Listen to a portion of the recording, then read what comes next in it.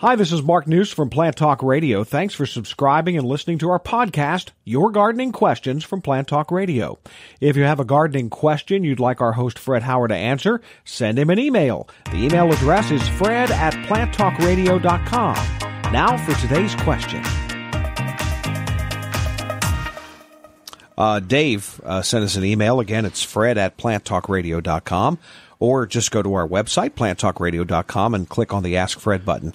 Says, What's the best time of year to transplant daylilies? I have two areas that are really overgrown and getting too thick. Well, uh, this is probably the least time. Now, it depends on the daylily and, and a lot of factors. There are thousands of cultivated daylilies, uh, period. But uh, there some of the old fashioned ones that kind of overgrow their area, even, which may be what Dave's problem is, uh, probably won't be too fussed if you move them now. Now, if if you want to be careful because you have grandmother's plant or you have one you spent some dollars on, I would wait until August to do it.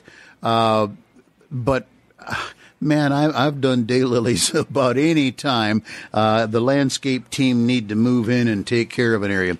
Uh, the, the, the one thing I will tell you and all listeners is uh, don't try to get rid of them with a rototiller. Uh, a friend of mine yeah. asked me after the fact. He said I got tired of those so and so daylilies, and he said I just revved up the rototiller and ground them down. I said, well, you made 500 plants into 50,000 is what you did because you took cuttings. And I said, just um, either learn to enjoy them or get a backhoe and remove them that way. But anyhow, they're they're pretty thrifty plant, and um, he could do it now. He could pop them out. It would really stymie any subsequent growth. Probably would not kill them. But first to middle of August is really the best time. Hey, thanks again for listening to our podcast. Be sure to subscribe to our other podcasts as well, the Plant of the Week podcast and the Plant Talk Radio podcast, all on iTunes or your favorite podcast player.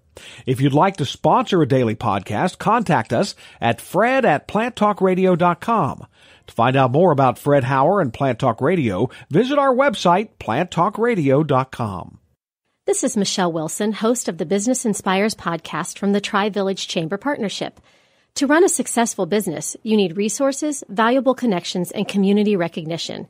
In each episode of the Business Inspires podcast, we talk with small business community leaders who will inspire you to create the business you are envisioning. The Business Inspires podcast is on Apple Podcasts, Stitcher, Google Play, YouTube, your Alexa device, and your favorite podcast player.